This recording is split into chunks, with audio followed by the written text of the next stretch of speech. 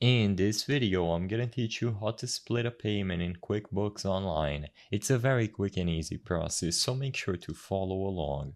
You will be able to find the option to split any transaction as soon as you log into your account and you go over to your account page where you can see a list of all your transactions.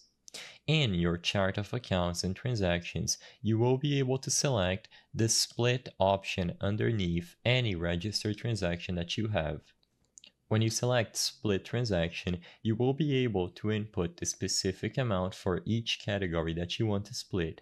All you have to do is include the amount on any of the boxes, and you can also add extra lines if you need more categories.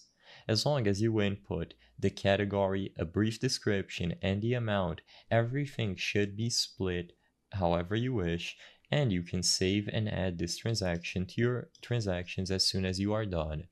You can do this process as many times as you wish with as many transactions as you have, as long as you include the category description and amount on the split transaction window, you will be able to manage all of your payees and split the bill accordingly however you wish.